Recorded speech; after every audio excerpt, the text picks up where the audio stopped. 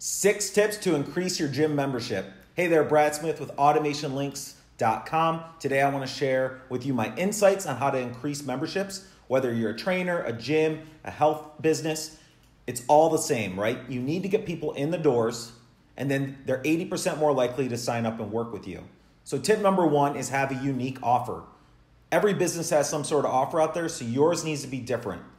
Make it so incentivizing for them that they can't resist it. So we see people doing six week challenges, uh, seven day passes. Uh, there's so many things out there, right? Think of something that's unique for your business and use that for potential clients.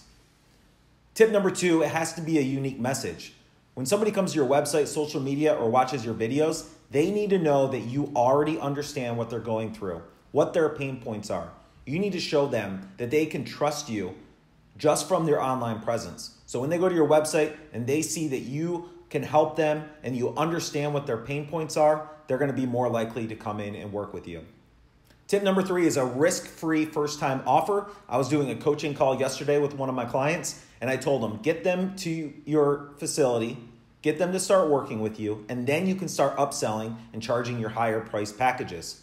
He has a great opportunity for a year of training, but nobody's going to sign up for that from his website. They need to come in, build a relationship with him, and then they're more likely to sign up for a higher package.